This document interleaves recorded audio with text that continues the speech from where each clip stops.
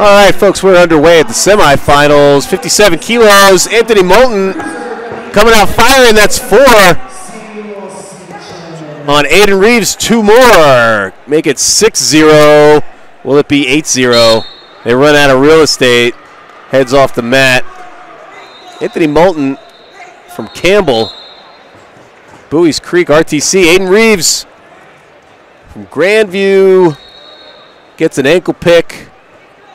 And he's chopped into that lead at 6 to 2. Molton leads. The Viking Wrestling Club. Oh, and he's got a trap arm. Aden Reeves, Iowa native, goes across the mat to his right, trying to go the other way now.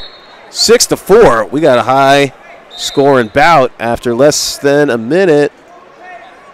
42 seconds down. 10 points on the board. We're in the semifinals of the U.S. Open. Back in the South Point.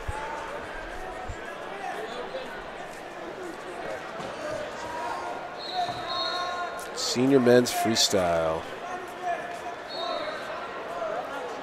Short offense.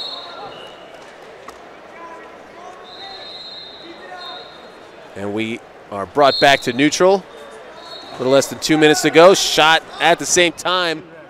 They bang heads, and Molton comes out on top. Anthony Molton now has an 8 to 4 lead. It was 6 0, and it was 6 4. Then 8 4, now 10 4 with a gut wrench to the left. Trying to go to the same side. Good squeeze and roll through another one. That's it, 14 4.